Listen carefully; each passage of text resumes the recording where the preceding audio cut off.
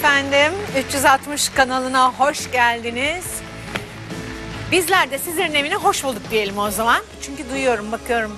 Yani e sen de hoş geldin diyorsunuz diye düşünüyorum. Efendim bu arada e, gerçekten göster programımıza göstermiş olduğunuz ilgiye de çok çok teşekkür ederiz. E, çok güzel geri dönüşümler alıyoruz. E, bu da bizi çok mutlu ediyor. E, inşallah hep birlikte daha nice güzel günler birlikte yaşayacağız diye düşünüyorum. Evet kötüyü başlıyoruz ama sonucumuza bakıyoruz ki güzel gidiyoruz. Ee, o da bizi çok mutlu ediyor. Bugün yine iki tane konuğum var. Gerçekten eee, yani hep söylüyoruz şu dolandırılma meselesini hep altını çizerek kimseye güvenmemeniz gerektiğini her seferinde söylüyoruz. Ama ne yapalım işte bu da bizim iyi niyetimiz mi artık bilmiyorum ama biraz fazla iyi niyet oluyor galiba. Bakalım neler var programda.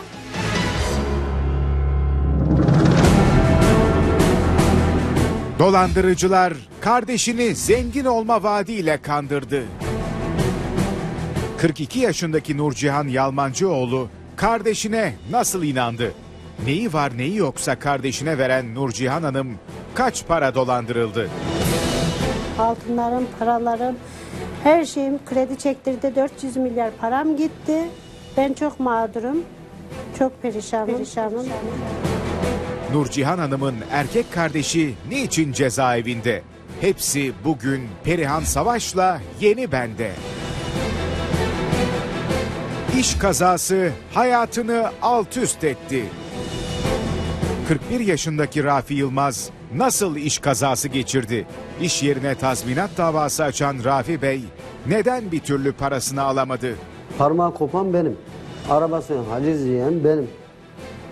Ben ne yapacağım? Bugün Perihan Savaş'la Yeni Bende. Dolandırılan Nurcihan Hanım parasını geri alabilecek mi? Rafi Yılmaz tazminatını alabilir mi? Avukat Nevin Ömeroğlu Demirel tüm bu soruların yanıtını bugün Perihan Savaş'la Yeni Bende açıklıyor. Evet efendim avukatımız Nevin Ömeroğlu Demirel hoş geldiniz. Hoş bulduk Perihan Hanım. Ve e, Nurcihan Yalmancıoğlu. Evet. Nurcihan hoş geldin. Hoş bulduk. Nasılsın? Teşekkür ederim. İyi olmaya çalışıyorum. Çalışıyorsun değil mi? Doğru kolay bir şey değil. Evet Nevin Hanım hep böyle e, zor şeyleri hep birlikte paylaşıyoruz, konuşuyoruz ama bazen bakıyoruz bunlar sonuca da güzel gidiyor. İşte bu dolandırılma meselesine gelince de diyoruz ki yani e, aman uyanık olun. Bir misafirimiz daha var bu arada. E, uyanık olun yapmayın ama insanın kardeşi söz konusu olunca değil mi? kardeşim var. Ben ya asla kimseye güvenmezdim, inanmazdım. İşte kardeş Ha kardeş mahvetti beni. Kardeş mahvetti. Ocağım Peki söndü yani. nasıl mahvetti? Neler oldu? Önce bir izleyelim sonra sohbetimize devam edeceğiz. Zengin olma vaadiyle kandırıldılar. Ankara'da yaşayan 42 yaşındaki Nurcihan Yalmancıoğlu erkek kardeşinin yufka dükkanında çalışıyordu. İddiaya göre bir bayi sahibi Nurcihan Hanım'ın erkek kardeşini zengin olma vaadiyle kandırdı. Abimin yufka dükkanı vardı. Bir gün çağırdı beni. Gel bacım dedi. Zengin olacağız. Sen de kurtuluyorsun. Ben de kurtuluyorum. Kolumda bileziklerimi aldı. İki ise dört yapacağım. Kolonu bilezikle dolan, şey dolduracağım. Hayatımız kurtarıyor. Sen de zengin olacaksın. Ben de zengin olacağım diye benim her şeyim gitti. 400 bin lirasını dolandırıcılara kaptırdı. Erkek kardeşi Erdal Bey'e inanan Nurcihan Hanım neyi var neyi yoksa kardeşine verdi. Son olarak evini satan ve her şeyini kaybeden Nurcihan Hanım yaklaşık 400 bin lira dolandırıldı. Altınlarım, paralarım, her şeyim kredi çektirdi. 400 milyar param gitti. Ben çok mağdurum. Çok perişanım. perişanım. Erkek kardeşi hapiste, dolandırıcılar dışarıda. İddiaya göre Nurcihan Yalmancıoğlu ile birlikte tam 27 kişiyi birden dolandıran dolandırıcı şu an elini kolunu sallayarak dışarılarda geziyor. Nurcihan Hanım'ın kardeşi ise cezaevinde. Bizimle birlikte 27 kişiyi dolandırdı bu kişi. Elini kolunu sallayarak geziyor. Kardeşim de şu an cezaevinde. Hayatımı kararttı kardeşim. Benim çok güzel bir hayatım vardı. Düze- düzgün bir ailem vardı. Çocuklarımın psikolojisi bozuldu. Çok ma şeyim yani perişan, perişan. Evet e, Nurcihan gerçekten çok zor bir durum. Evet. Peki e, şimdi senin kardeşinin bir dükkanı vardı. Yufkacı Evet. dükkanı vardı. Sen de orada çalışıyordun. Yufka açıyordun. Evet. Gayet iyi geçiniyordunuz gidiyordunuz. Sonra bayi açılacak diye bir adam mı geliyor? Başka bir adam Yok, mı geliyor? şimdi Sincan'da Yepaş bayileri var. Ha, isim vermiyoruz. Tamam. Bayi. Bayisi vardı. Bu kardeşim bütün bayilere yufka veriyordu. Buna da veriyordu. Buna demiş bir gün seni zengin edeceğim. Altın heykel var bende, Saddam'ın paraları var bende. Altın heykel mi? He, altın heykel var demiş, Saddam'ın paraları var demiş. Suriye altınları var demiş. Getiriyor 10 valiz para getirdi. A4 kağıdında sahte para. Bilezik getiriyor sahte bilezik. Ondan bundan bir yani bütün kişiyi böyle dolandırmış. Kardeşim ona inanıyor. Kendi varını yoğunu yufka dükkanını da kapattı. işte, iflas etti. Ben de bittim. Peki bir şey söyleyeceğim. Şimdi bu adam eee, Irak'ta diyor işte eee, Saddam'ın paraları bende, altınları bende, onlar Evet. bende, paralar var bende. Ama bunların hepsi sahte mi çıktı? Evet. Nasıl anladı kardeşin? Yani nasıl anladınız bunların sahte olduğunu? Açtı gösterdik. Ha siz kime açtınız? Abimin dükkana getirdi. Aha paralar dedi. Açtı ki o. Hepsi Hepsi sahte. ağız dört kağıdında sahte para. Peki senin kardeşin görmedi mi bunu? Görmedi. Aha dedi ki şey valizi getirdi şifreli. Bunu adamlar açacak. Adamlar gelip açacak. Elimizi vurmuyor. Onu öyle kandırdı. Bir ara şey etti, abim dedi açak bir bakak. Biz içimize bir şüphe düştü artık. Açtık baktık ki ne bakak sahte para. Bunu her o valizler ondan ona ondan ona geziyor. Peki bu dükkanı açtınız dükkanda çalışırken kardeşiniz ne yaptı? Dükkanı mı kapattı önce? Yok işte devam etti. Bu geldi gitti Erdal abi para ver. Erdal abi para geliyor. Erdal abi işte adamlara gelecek ayarlıyorum. A- Şeyden adam Suriye'den adam geliyor işte şuradan adam geliyor. Para lazım. Böyle yani beynini yıkadı. O da dedi ki bacım sen de kurtul ben de kurtulayım. Para bilezikler. Zengin olalım. Ha, zengin olalım. Bileziklerimi istedi. İki dükkanı var yan yana. Bir tarafa un yıkıyordu, bir tarafta işçiler çalışıyor. 7-8 tane işçisi vardı. Güzel dükkanı çalışıyordu. Çok güzel. Evet işte şeytan girdi araya. Bunu dolandırdı. Beni çağırdı bacım dedi. iki bilezik versene dedi. Niye vereyim dedim. Bacım sen de kurtuluyor ben de kurtuluyor. Zengin oluyor. Nasıl dedim zengin oluyor. Bacım dedi işte dedi ben bu ayıya verdiğim olan kişi dedi şey dedi. Suriye'de dedi şey heykel varmış, satlama paralar varmış, satlama ben bilmem etmem. Ben bir Türk parasını bilirim. Bir de giderim dövizciden param varsa dolar şey alırım, mark. Euro alırsın. Euro alırım. Ha. Altın alırım. Ben onu bilirim. Ondan sonra ben dedim vermem bak kardeşim dedim. Benim kocamın huyunu biliyorsun dedim. Benim dört tane kız çocuğum var. Okuyor çocuklarım. Bana dedim bulaşma. Yok bacım dedi. iki ise sana dört yapacak dedi. Ya ben iki ise dördü istemiyorum. Eşimin huyu kötü dedim. Bana bulaşma, yuvamı yıkma. Yok yok bacım iki günde yapacak. Öyle iki aldı. Ondan sonra üç tane kaldıydı. Onu aldı. Ondan sonra dedi bacım devam. Bunun arkası yani para yağdı da yağdı. E peki bu arada siz bunları verirken hiçbir para geliyor mu size? Yok canım. Hiçbir şey gelmiyor. Hiç, hiç. Ha, sadece siz veriyorsunuz Veriyor. durmadan. Durmadan veriyor. Ama asaki böyle çok büyük bir para gelecek diye de Yok bekliyorsunuz. ben kendi param istiyorum. Ha. Ben ne yapacağım? Ben dedim Allah'a şükür eşim çalışıyor. Helal para getiriyor bana. Ne yapacağım ben zenginlikte? Başımı sokacak bir evim var. Güzel bir maaşım vardı. Çocuklarımı güzelce yediriyordum, giydiriyordum. istediklerini alıyordum. Şimdi hiçbir şey alamıyorum. Sattığım evde evin parası Evi da nasıl gitti. sattın? Şimdi bilezikler gitti. Gitti. Sıra geldi eve. Ev senin üstüne miydi? Ev benim üstümeydi. Peki nasıl evin nasıl kandın da evi nasıl verdin? Eşimin üstüne para yatırdı şey alan kişi. Beraber gittik. Ha. Bu otu işte mesela bu kişi aldı. Eşim de yanında işte şeyden Mehmet'in üstüne aktardı eşimin. Eşinin üstüne paraları verdi. Evet, bankadan Evi, çıkmadan eşimin üstüne direkt banka aktardı evin parasını. Benim bu- başkasından... ev gitti yani bu arada Gitti, böyle. başkasının- Ama parayı kocan aldı. Hocam bankada duruyordu para.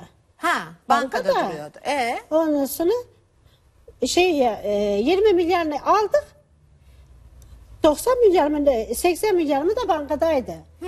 Eşime gitti iş yerinden kardeşim olsun bu dolandırıcı olsun iş yerimi de, eşimin iş yerini de rahatsız etti. Eşime karttan para çektirdi.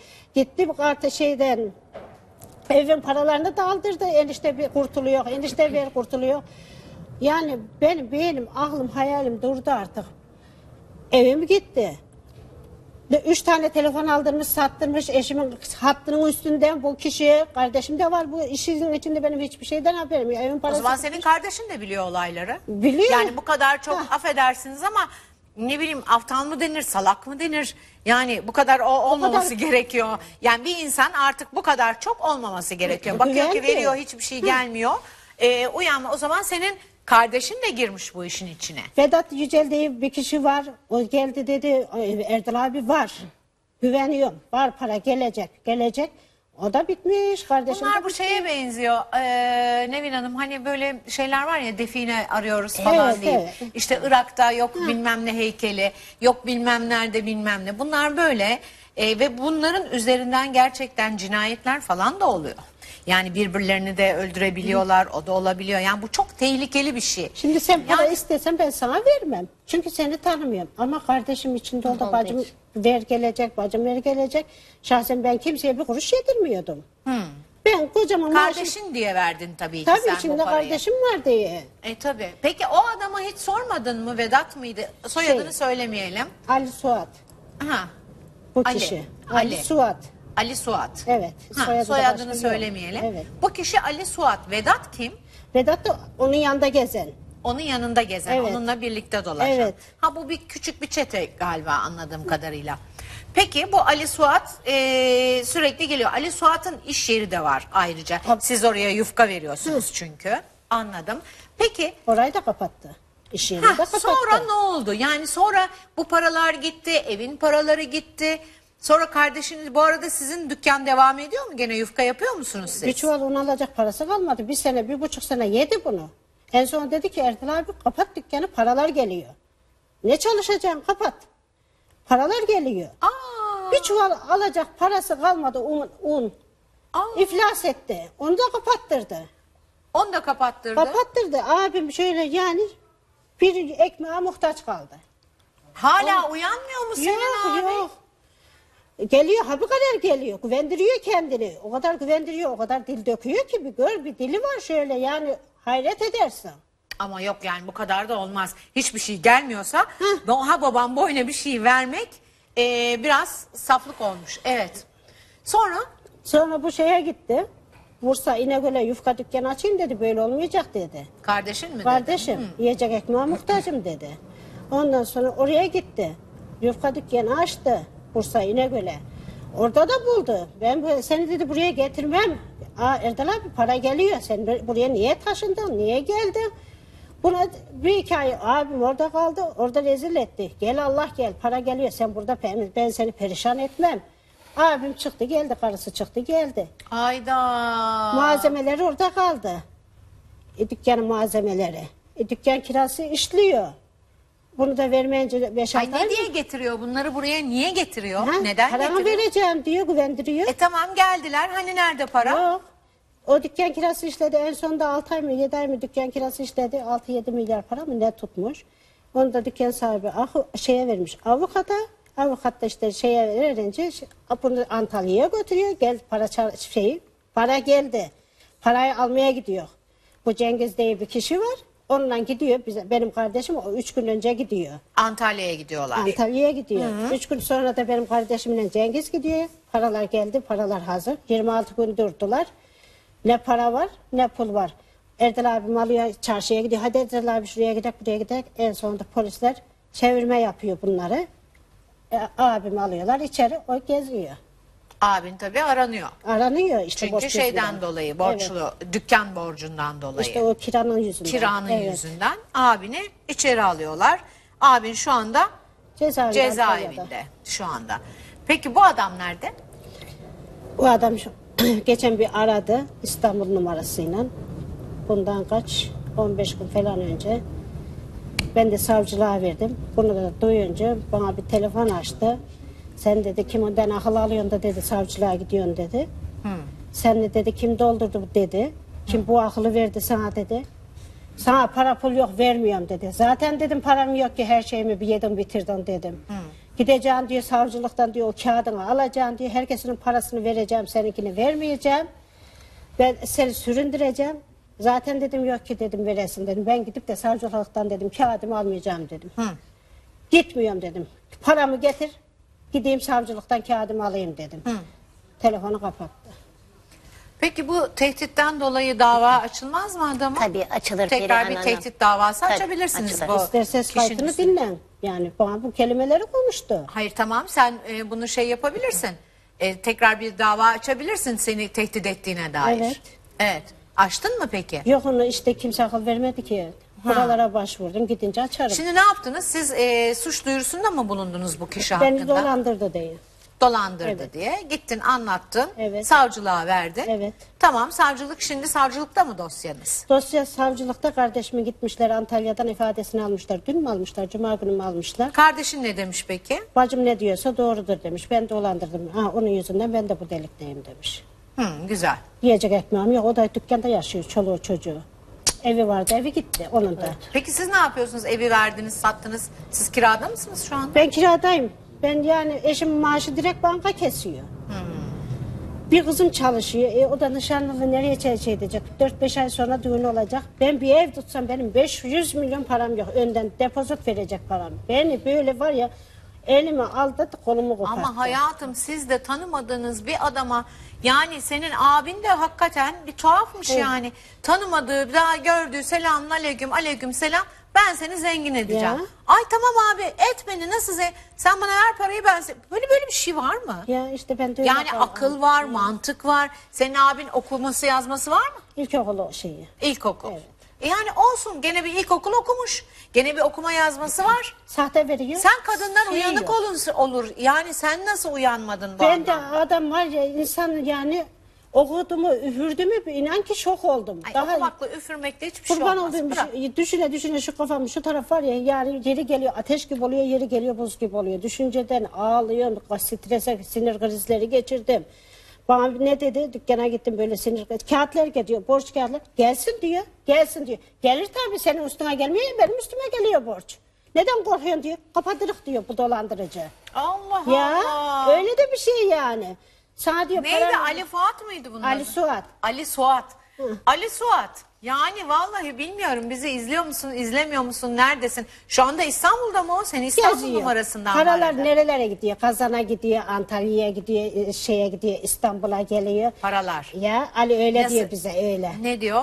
Paralar İstanbul'da, paralar Antalya'da, paralar Kazan'da, paralar havalanda geziyor. Turist gibi Paralar geziyor paralar. Ali'nin cukka cebinde. Ha. ha. Yani bence öyle Parayı zaten. kuru- alıyor nereye? Ali'nin cukka cebinde. Ali de daha dolandırılacak, daha sizi sömürecek Daha çok bizim zamanı gibi var. Kaç kişi yiyor, kaç kişi yiyor. Kim bilir tabii ki. Ha. Tabii ki. Adınla, soyadınla siz bunu verdiniz değil mi? Şikayet ettiniz yani. Ettim.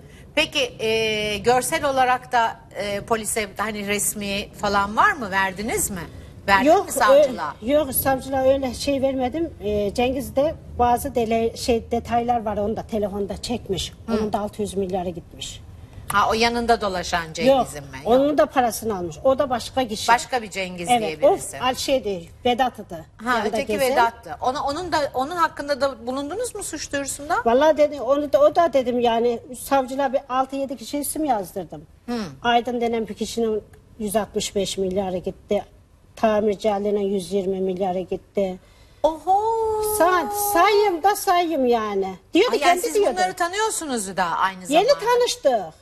Ha, yeni Onlar birbirimizi tanıştınız. böyle bula bula birbirimizi bulduk. Ha siz birbirinizi buldunuz. Evet 27 kişiden dedi para aldım 7 trilyon para almışım dedi. Kendi ağzıyla söylüyor. Vay vay vay vay. Parayı nereye aktarıyorsa geri geliyordu. Erdal abi bize kara param yok bana bize kara parası ver. Allah Allah. 5 milyar dahası 10 milyar dahası O onu zaman nereye bu koyuyorsa. kendisi bir piyon başında başka birisi de var bunun olabilir. Vallahi Öyle değil mi? bilmiyorum. Nevin Hanım şimdi biraz da sizden bir bilgi alayım. Şimdi bu durumda ne yapılabilir? Savcılar suç duyurusunda bulunmuşlar. Kişiyi şikayet etmişler. ne olabilir bundan sonrası? Şimdi zaten yasal olarak yapması gereken şeyi e, yapmış kendisi. E, bundan sonraki süreçte e, o kişinin ifadesi alınacak, yakalama kararı çıkacak hakkında.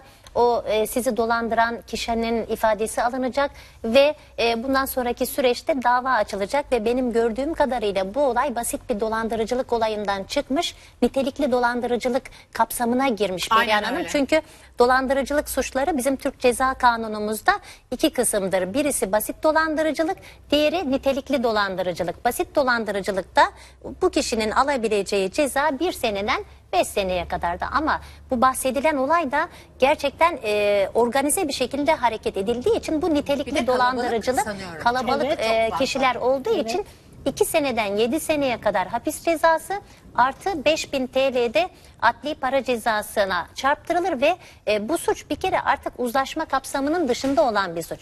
Basit bir dolandırıcılık olmuş olsaydı e, savcı dava açmadan önce iki tarafı karşı karşıya getirip bu kişinin e, zararını karşıla diyecekti. Fakat bu olayda artık bunun dışına çıkmış nitelikli dolandırıcılık ve 7 seneye kadar e, üst sınırı 7 senedir hapis cezasının E, ceza alma ihtimali yüksek E, yakalama kararı çıkar. E, yakalandıktan sonra ifadeye çağrılır ve Ben mahkeme sizin para dava alabileceğinizi açılır. zannetmiyorum. Yani Evet. para... Yuvasını da Evet. Milleti dolandıracağım diye ne karısına baktı ne çocuğuna baktı. Eve barha gitmedi. Şimdi eş istemiyor. Boşanacaklar. Siz eşini tanıyor musunuz? Gittim evine de gittim. Önce dedi ki Batı kentte oturuyorum dedi. Ben de Sincan'da oturuyorum. O da Sincan'da oturuyor. Annesi de Sincan'da oturuyor. Annem babam Antalya'da yaşıyor. Ben de Batı kentte oturuyorum dedi. En sonunda onu da bulduk.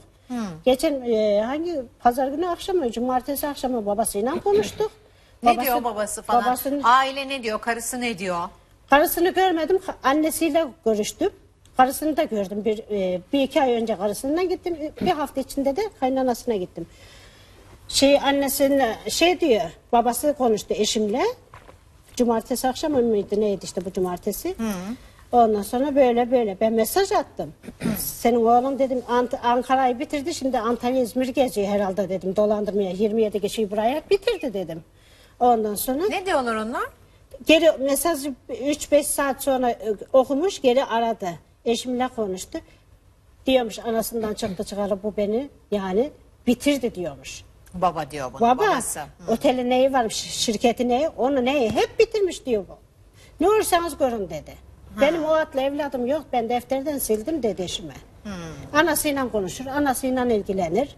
Ben aramanda sormanda neredeymiş neciymiş demem demiş eşime. Peki babası falan ne iş yapıyor? Durumları iyi mi Babası onların? bankadan emekliymiş.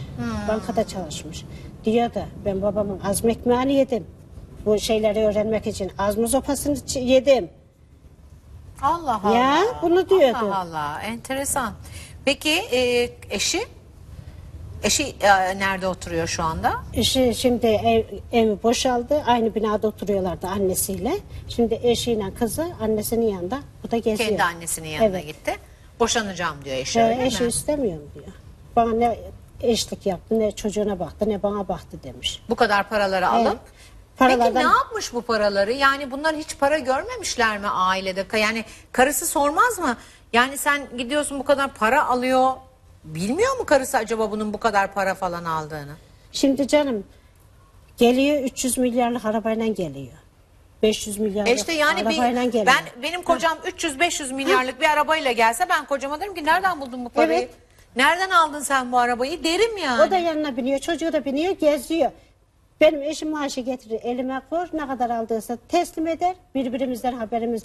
Bunda dedim eşinin de haberi var. Taksiye binip gezmesini biliyor. Evet.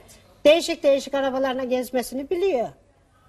Ondan sonra karı diyor paraların içinde gezecek de diyor beni boşuyor karı diyor. Boşasın diyor. Ya karısına.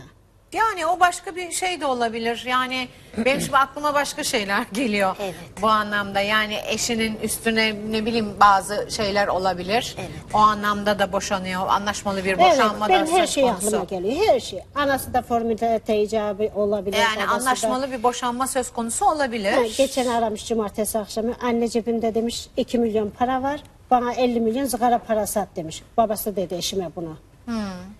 2000 lira herhalde. 2 milyondan Ay, iki geziyorum milyon, demiş. He, sigara parası yok İki demiş. lira. He, 50 lira bana para at demiş. Ha. Pa- sigara param yok değil. Ben demiş beni ne arar ne sorar babası. Anasıyla konuşur anasıyla şey der demiş ilgilenir. Ben hiç oğlum, Annesi sormamış mı peki sen annesine söylemedin mi nedir bu ben çocuğunuzun? annesiyle değil babasıyla konuştu eşim. Annesiyle konuşmadınız. Yok. Evet bu Ali Fuat Bey gerçekten Suat. de insanlar Ali Suat pardon e, gerçekten de insanların ciğerini canını yakmış evet, ve ortada rahat rahat dolaşıyorsunuz. Ama nereye kadar? E, ben şeydir yani 7 yıl mı diyorsunuz siz bu Üst süreç sınırı, için? üst sınırı 7 yedi sene yıl Perihan Hanım. dolandırmanın. Evet, evet. Bir seneden basit olsaydı, basit bir dolandırıcılık olsaydı bir seneden beş seneye kadar ama burada nitelikli hali oluşmuş, bankaları da kullanmış ve e, dolandırdığı kişi sayısı da fazla. iki seneden yedi seneye kadar Bence e, yedi sene hapis de çok az. Yani şu anki Az. Şimdi- Şu anki kanuna göre öyle diyorsunuz. Bu arada bir telefonumuz varmış. Avukat hanım size bir telefonumuz varmış. Alo. Alo, iyi günler. İyi günler. Buyurun efendim. Ee, Adana'da böyle e, dolandırıcılık e, başımıza geldi de e, koyunları çaldılar. E, savcılığa ifade veren de oldu. Yani e, suçlarını itiraf ettikleri halde koyunları geri vermediler. Bir de e, mahkeme de açıldı. E, iki tane avukat tutulduğu halde avukatlardan bir tanesi bunları e, dava edilmesini diğeri dava edilmesine gerek olmadığını söyledi. Ben de bu olay için avukata sormak için arıyorum. Yani bunları e, yani ceza davası mı oluyor artık bilmiyorum da hı. bunları dava edilip edilmemesi hususunda e, iki avukat e, ben ceza davasına bakıyorum. Bir tanesi diyor ki e, benim ismim yeter e, dava açmasan da kazanırız diyor. Ötekisi de diyor ki dava açarsan kazanırsın. Ben şimdi bu muallakta kalınan konu hakkında bilgi almak istiyorum. Aa, Bu ne demek şimdi e, ben bir anlamadım. dolandırıcılık olayı olduysa e, bununla ilgili savcılığa mutlaka şikayetinizi yapmanız gerekiyor. Edildi. Yaptınız mı? Edildi. Siz bulunmadınız herhalde değil mi? Yapmışlar, Ha, bulundunuz, şikayetçi oldunuz. Şikayet edildi. Hatta e, bir tanesi e, suçunu itiraf etti. Yani bunları biz dolandırdık dediği halde hayvanlar geri alınmadı. Yani bir tanesi demiş ki evet biz Evet. bunları dolandırdık hayvanları aldık çaldık. Evet, kabul etmiş. fakat o kabul etmiş ama hayvanları biz geri alamadık daha hala diyor. Mahkemeden, Ha, anladım. e, mahkemeden şöyle bir karar çıktı. E, dendi ki e, çok üzüle- üzülerek e, iade edemiyoruz dendi. Ha, anladım. Şimdi bu zaten ceza davalarında ceza hakiminin görevi orada hani sizin maddi kaybınızı uğramış olduğunuz maddi manevi zararları karşılamak değildir. Ceza davası ayrı bir süreçtir, hukuk davası ayrı bir süreçtir. Sizin yapmanız gereken ceza davasını aç, savcılığa şikayetçi olduktan sonra zaten ceza davası açılır. E, Ceza davasında belli bir yargılama yapılır ve kişiye e, ya beraat edecek ya da bir mahkumiyet kararı çıkacak. Eğer mahkumiyet kararı çıkarsa bu mahkumiyet kararından sonra siz ayrıca hukuk mahkemesinde uğramış olduğunuz maddi zararı isteyebilirsiniz. Maddi tazminat davası açabilirsiniz. Uğramış olduğunuz maddi kaybı ispat ederek Hatta o ceza davasındaki mahkeme kararını da hukuk mahkemesindeki dosyanızın içine koyarsanız orada da bu kişinin ceza aldığını ispatlamış olursunuz ve maddi zararınızı e, maddi zararınızın karşılanmasını hukuk mahkemesi hakiminden talep edersiniz ve e, mahkeme kararında da zaten bu tazminatı hak ettikten sonra o kişi e, bu zararınızı ödedi ödedi ödemediği zaman icra yoluyla siz maddi zararınızı mahkeme kararı doğrultusunda icra dairesine vererek zararınızın e, tahsilini isteyebilirsiniz. Peki bu koyunların makbusu olmadığına göre yani bir satış veya bir Evet. makbus bir şey olmadığına göre geri alabilirler mi? Yani bunun böyle bir şeyi olabilir Yani mi? orada- Zaten kabul etmiş galiba bir tanesi. Kabul etmiş bunlar zaten Hanım, evet. Efendim? Kulaklarında küpeleri oluyor hayvanların. Ha. E, o kulaklarındaki küpeleri kesmişler ama bizim elimizde belge var. Yani o onun e, küpeleri şu an numaralı biliyorsunuz hayvanlar. Tabii. Onlar olduğu halde yani e, bunun mahkeme kararı e, onları da cezalandırmadı. Yani hayvanları bize de vermediler. O zaman Ee, siz şimdi da- tazminat davası Evet. açacaksınız. Yani O ceza kişiye- davası sonuçlanmış anladığım Evet. kadarıyla. Ee, Vermediler hayvanlar ortada yani şu an. Tamam ama işte verilmedi siz bu sadece. anlamda şey açacaksınız. e, Tazminat davası tazminat davası gerekiyor. açacaksınız. Evet. Yani ceza davası bitmiş. Ceza davasında bunlar demişler ki kusura bakmasınlar bizim verecek gücümüz yok. Öyle mi? Evet, evet vermediler hayvanları yani Tamam. onlara ait olmadı, çalındı, kimisi de itiraf etti biz dolandırdık dedi yani.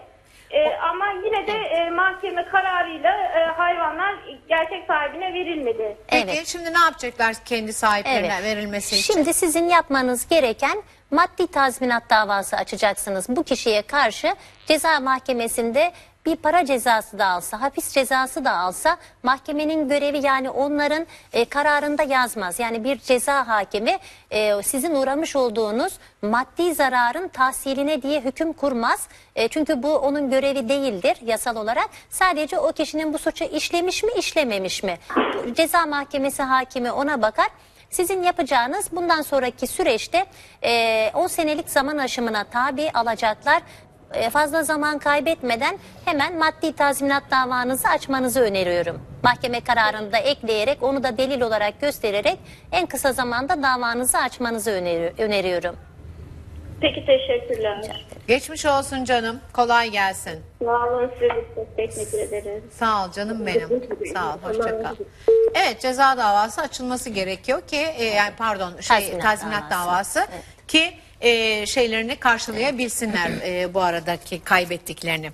Bu arada Nurcancığım bir telefon hattımızda e, alo Güven Bey Alo. var. E, merhabalar Güven Bey. Merhabalar ablacığım nasılsınız iyisiniz? Teşekkür ederim. Sağ olun. Siz nasılsınız? Şükürler olsun ablacığım sesinizi duyduk yüzünüzü gördük daha iyi oldu. Teşekkür ederim sağ olun. Ee, Güven Bey siz e, e, Nurcihan Hanımların hep yanındaydınız. Ee, Abimin şahitsiniz. Şey, komşusu Evet abim. efendim. Abisinin komşusu Komşusu. oluyorsunuz. Ne oldu? Neler yaşadılar bunlar? Neler gördünüz? Ee, şimdi şöyle anlatayım ee, ablacığım bu e, Nurcan ablamızın abisi vardı Erdal Çobaner. Evet. Ee, bunun vasıtasıyla Ali diye biriyle tanışmışlar. Ee, Ali de işte bunlarla iş yapacağım, ticaret yapacağım ayağında e, bunları kandırdılar. Bunlarla beraber birçok kişiyi kandırdı. Ben de şahidim, esnafım. Birkaç kere de hatta bana geldi. Para ver, zengin edeceğim, şöyle yapacağım. Ben inanmadığım için yanaşmadım. Bu insanları da çok uyardım. Ha bak. Çok uyardım ama e, bir şey etti dolandırıldılar kısacası. Anladım. Anladım. Terbiyesizin sa- şeyini. Evet. Dolandırıldılar. Ee, çok mağdur durumdalar. Yani hatta Erdal Çobaner şu anda zaten seneti ödeyemediğinden dolayı da cezaevinde şu anda. Öyleymiş. Evet. Öyleymiş maalesef. Ee, ailesi burada boş dükkan var. İki kanepe koyduk orada yatıyorlar. İcra Çöpten bakıyor yat. Durumları çok kötü. Vah vah Benim vah. de mahallemde komşum olduğu için 6 senedir de mutlak erzaklarını kendileri de zaten bahsetmiştir. Hep ben karşıladım karşılıksız. Allah razı olsun sizden. Ne güzel. İnsanlar Ama, böyle ha. e, ama artık bunların fazla yani bugüne kadar vereceğim vereceğim vereceğim deyip de vermeyi ve bunları da Nurcan Hanım'ın da evi satıldı. Yani daha birçok Öyleymiş. şey var. Ben Anladım. de bir komşu olarak vicdanım rahat etmediği için size bağlanmaktan ve şahitlik yapmak istiyorum. Sağ olun. Çok teşekkür ediyoruz Güven Bey. Allah razı olsun tekrar dediğim gibi. İşte Yani baştan beri komşuluklar Ben içlerindeydim, işlerindeydim. Biliyorum bunları kandırdılar. Nalet olsun o insana. Bunlar Evet. gibi yani duyduğuma göre 27 kişiyi daha kandırmış. Gelenin gidenin vakti hesap yok. öyleymiş, öyleymiş. Evet, Yani öyleymiş. çok mağdur durumdalar. Gerçekten de çok mağdur durumdalar ablacığım. Evet, anladım. Bu konuda yani sizden de bir yardımcı olursanız çok İnşallah. sevinirim. İnşallah biz de bu Onlara da anlamda inanıyoruz. yardım etmeye çalışıyoruz. Siz de şahitsiniz. Ne güzel şahitler de var. Onun için Evet, biraz evet. daha şanslılar. Yani şahit, şahitlik yapacak Singen'de mahallede çok insan var. Bunları yani Anladım. getirdiğini, o insanı bilenleri çok şahitlik yapacak insanlar var. Tamam. Gönüllü şahitlik yapacak insanlar da var yani. Tamam peki. Çok teşekkür ediyoruz size. Çok mersi sağ olun. Evet e, bak ne güzel komşuların da var. Hepsi şahitler. Şahitlik de yaparız diyorlar. Evet, evet. İşte bu da sizin için. Ya ben şurada şuna şaşırıyorum. Şimdi şu anda hapiste olan senin abin. Evet. Adam mağdur. Kirasını ödeyememiş. Mağdur olduğu için ödeyememiş zaten. Evi Şu anda karısı, çoluğu, çocuğu bir dükkanda ve o dükkanın içinde yaşamaya çalışıyorlar. Kendisi de hapishanede. Bu arada bu insanları dolandıran, bunun gibi daha 27 kişiyi dolandıran bu sahtekar elini kolunu sallayarak dolaşıyor. Bana bunu biri izah etsin nasıl oluyor? Ya hakikaten ya. Ben, benim aklım, hafızam almıyor. Ne kadar oldu savcılığa başvuralı? Perşembe günü 15 gün olacak. 15 gün olacak. Perşembe. Adamın kimliği belli. Evet TC'si Aa, var, hep var. TC'si, her şeyi var. Var, bir- Bir de sen Her şey var adamın. Evet şey de soracağım bak aklıma hafızam ben yeni yeni geliyor. Para yüklü geldi Mehmet abi yeter yenge Erdal da Erdal'ın hanımı yeter. Sizi notere eşimi yetere notere götürüyor. Siz- Benim Antalya'da şeyim var şirketim. Üç mır şirketim var. Para yüklü olduğu için devlet diyor bunun parasını benden hesabını soracak. Yarısını senin üstüne aktarayım, yarısını senin üstüne aktarayım diye notere götürdü eşimi. Öyleliyle onu da onu yaptı. Geçen gittik onu da iptal ettirdik. Başımıza dedim bir iş daha açacak dedim ya. Neler geldi başıma ya. Resmi kurumları aracı olarak kullanıyor Perihan Hanım. Az Kullanıyor. önce de söylediğim gibi nitelikli dolandırıcılık dememin e, sebebi bu. 7 seneye kadar cezası var ve diğer mağdur olan kişiler de şikayetçi olursa her mağdur için ayrı ayrı ceza alacak.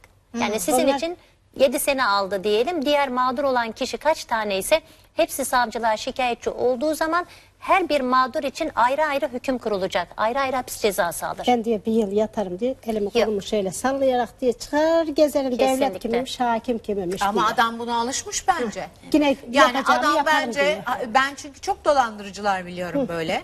çok e, mağdur insanlar oldu. Gerçekten de senin dediğin gibi bir sene yatıp elini kolunu sonra sallaya Demek ki sallaya ustası olmuş. dışarıda dolaştılar. Ya. Onun için de bu anlamda bunun ustası olmuşlar ama bu böyle olmaması gerekiyor bu adamın. Yani orada yatan şu anda cezaevinde yatan Erdal Bey o mağdurun orada değil ötekinin yatması Evet. gerekiyor. Yani bu nasıl oluyor? Nasıl bulamıyorlar? TC'si belli, o su belli, bu su belli. Her şeyi belli. Polisimiz bu kadar her yerde araştırma yapıyor. Bu adamı nasıl bulamıyorlar? Ve bu adam durmadan dolandırıcılıklara devam ediyor hala. Şimdi Kim o- bilir kaç tane daha var onun Var, var, hakkında. var. Şey, e nasıl bulamıyorlar bu Ben adamı? ne bileyim vallahi var. Çıkar. Çorap sokuğu gibi çıkacak Çıkar. o. Tabii ki çıkacak. Çıkacak. canım. Tabii ki çıkacak. Ben- Alın anasını babasını, alın karısını içeriye, sorguya. Evet alın. arabalarda gezmesini biliyor. Yani a- alın içeriye sorun bir araştırın. Yani burada masum bir insan yatarken kirasını ödeyemedi diye karısı ve çoluğu çocuğu dükkanda kalırken e, aç susuz bir biçimde komşuları bakarken hangi vicdan e, diğerine ortada dolaşmasına müsaade eder ki yani? Hangi vicdan? İşte ben bu prosedürleri anlayamıyorum. Yani bu kadar ağır işlendiği zaman hakikaten şey yapıyorum yani e, tahammül edemiyorum. edilmiyor. Edemiyorum. Yani öbür tarafta masum bir insan yatacak bir tane elma çalan girecek bin sene yatacak.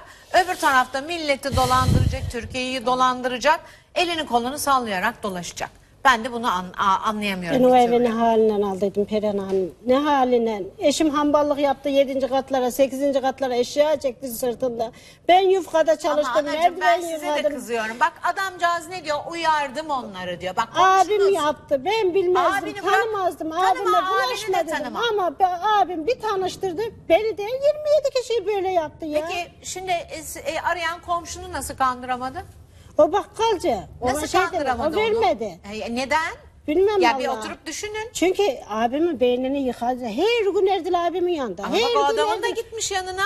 Gitmiş o vermemiş. E ama akıllı de- ve sizi uyarmış. Uyarmadı mı sizi Ben bundan pek şey etmedim. Erdil abimi çok uyardı. Çünkü onun komşusu. Ben başka yerde oturuyorum. E O- tamam. O, o Bak başka yerde uyarmış ne oturuyor. güzel. Neye senin Derim. abin kanıyor ki? Abim demedi ki Kaç bacım yaşında senin abin? ehli vardır. 50 yaşında. Evet. Kocaman da adam Ya. yani. Hadi genç tecrübesiz diyelim ne bileyim 30 olur da 35 olur da yani 40 da olsa gene benim için gene de gençtir. Gene de tecrübesizdir. 50 yaşındaki bir adam yani. Nasıl kanıyorsun sen buna ya? Ne adına kanıyorsun? Hadi bir kere kandın. E gelmedi para. Sonra bir daha niye veriyorsun? Onun altından- Sonra bir daha sonra Bursa'yı bırakıp niye dönüyorsun tekrar bunun peşine takılıyorsun? Ya vallahi bilmiyorum. Bir de İşte olay sayısında e, mağdur sayısının fazlalığı da zaten bu olayı nitelikli dolandırıcılığa e, sokuyor Sokuyor, Perihan Hanım. evet. Çünkü Aynen yani bir kişiyi kandırmış olsa basit dolandırıcılık derim. Yani bu kişinin algılama yeteneğinin zayıflığından, e, saflığından yararlanmış ve dolandırmış derim. Ama e, olay say- olayda 20-25 kişi mağdur Ay, deniyor. Yani bir devlet kişiyi kandırmış, devlet kurumlarını da aracı olarak kullanarak e, dolandırmış. Bu nedenle e, yani nitelikli dolandırıcılığa giriyor. Para falan da E, basıyordur bu. Sahte para falan. Getirdi getirdi. Biz getirdi bu değil mi? sahte Adı- paralar falan kağıdında- basılıyor. Nerede basılıyor Bir de bunlar? getirdi. Şöyle gerçek gibi para ama geçersiz para. Görsem gerçek para sanarsın. Bunlar dedi abla işlemiyor dedi. Ve bir şeyler yazdı ben Müge Anlı'ya başvurmuştum. Aklımda olanları böyle kızıma yazdırdım. Cüzdanda getirdim. Bize ne, abime ne oyunlar oynadı. 2, 2 milyar 600 milyon şey vermiş o sahte paraya. 2 milyar 600 Abine mi vermiş onu? Yok hani sahte para bastırıyor ya. evet. Ha ona vermiş sahte parayı. Millete dolandırmaya. Bassın diye. Yok sahte parayı bastırmış ya. Ha, Ali millete Suat. veriyor onları. Ha, Ha, Ali getirdi Suat. 10 tane valiz getirdi. Ne, ne oldu o paralar? Ne yaptınız o paraları? Attı çöpe. Geçersiz ince bir kağıt. Para paraya benzemiyor ki. Nereden bastırdı? Ne yaptı? Nereden getirdi? Ne adına getirdi o paraları size? Yani ne diye getirdi onları size? Nasıl ne diye dükkana getirdi koydu gitti. Aha paralar. Eşim almış gelmiş şirketinin şeyine koyun falan fişman görsen eşimi apar topar almış gelmiş paralar geldi gel. Sahte paralarla sizleri Evet kandırıyor. evet abimin dükkana koydu. Paralar gel derdiler abi açma. Adamlar gelip açacak. Şifresini adamlar biliyor. Adamlar kim? Adamlar dedi. Hiçbir şey yok adamda. Biz öyle kandırıyor. Abim öyle kandırıyor. Burayı şeyden adamlar açacak valizleri. Ne oyunları var. Ne oyunları var. Şöyle aklın hayalin durur. Aklıma geldikçe ben sana E söylerim. ama bak oyunlar var diyorsun. Demek ki o oyunları sen de birazcık hissetmeye başlamışsın. Cengiz'den dört tane te- hattından telefon aldırmış, sattırmış. Benden, eşimden üç tane telefon aldırmış, sattırmış. Tamirci Ali'den dört tane telefon aldırmış, sattırmış. Vedat Yücel'in abisi, o da yanında o koz olarak kullanıyormuş Vedat Yücel'i. Dün de abisinin yanına gittik. Peki bu Ondan da paralar dört geldiğinde telefon. siz açtınız bu paraların sahte olduğunu gördünüz. Kendi açtı. Ha, sen Aha, dedin dedi ya bana. abimle birlikte açtık falan diye. Şey Ali Suat da geldi. Ha o da geldi. O da Açtınız geldi. baktınız paralar sahte. Heh sahte. Peki demediniz mi buna bu Dedi, nedir? Ha, bunu ne dedi diyor? koz olarak kullanıyorum dedi. O Ay neyse. yok bu kadar da saflık sizde de olmaz ama Vallahi ya. inan ki Hayatım yani. ya. Bittik Yani bittik yani. Biz o anda o anda o adamı tutacaksınız, elini kolunu bağlayacaksınız, polisi de çağıracaksınız oraya Ben diyeceksiniz dedim. böyle dedim. böyle böyle. Kardeşime dedim ben bunu dedim polise verek. Kardeşim de aranıyor ya. Korkudan bacım dedi şey etme. Giden paramız olsun. Niye gidiyor dedim. Niye gidiyor? Ben onu ne halinden aldım dedim. Neyse cezası çeksin ben onu şey edeceğim. Engel oldu kardeşim tutuklanacağım diye. Yine Allah tutuklandı. Allah, gene tutuklandı. Ne oldu? Bu arada bir telefonumuz daha varmış. Alo.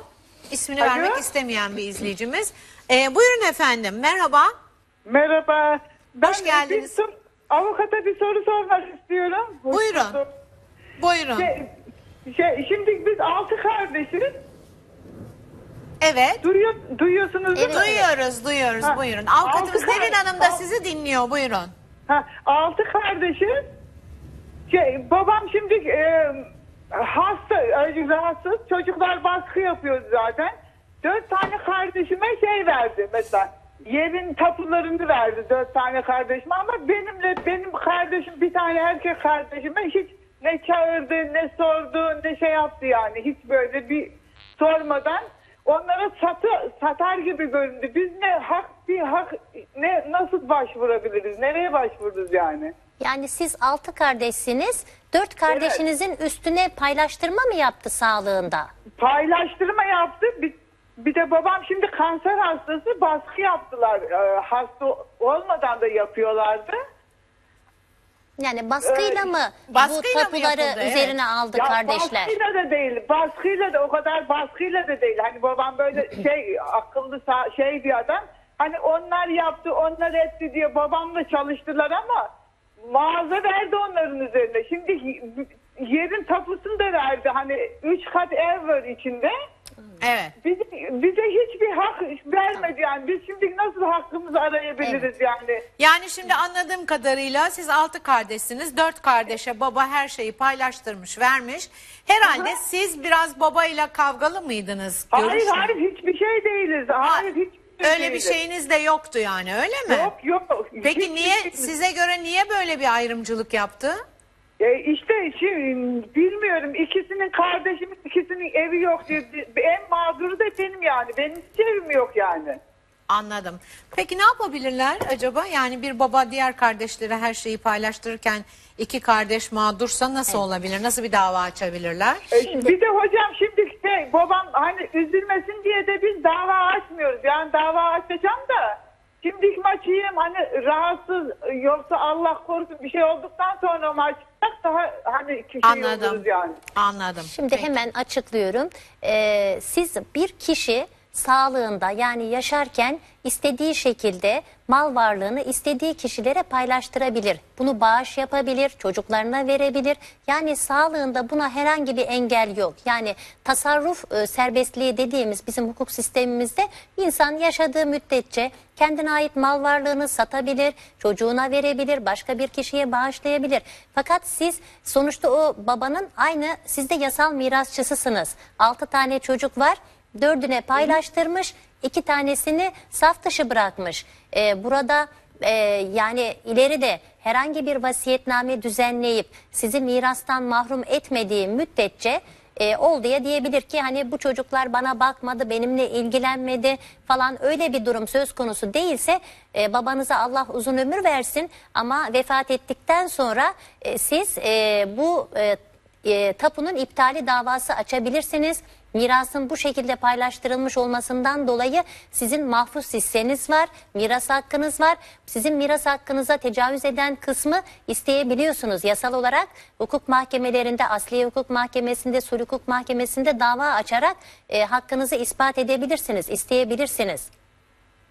Tamam teşekkür Ama şu an ederim. için herhangi bir şey yapamazsınız. Babanız sağ olduğu için istediği Tamam. şekilde tasarruf edebilir ama vefatı halinde siz hakkınızı e, miras hukuku çerçevesinde isteyebilirsiniz. Peki bir şey Tamam. soracağım. Tasarrufun iptali davası açabilirsiniz. Evet. Aha. Yani e, Allah korusun vefat ettikten sonra falan. Fakat siz hiç babanızla bu anlamda görüşmediniz mi? Baba bu nasıl bir vicdan?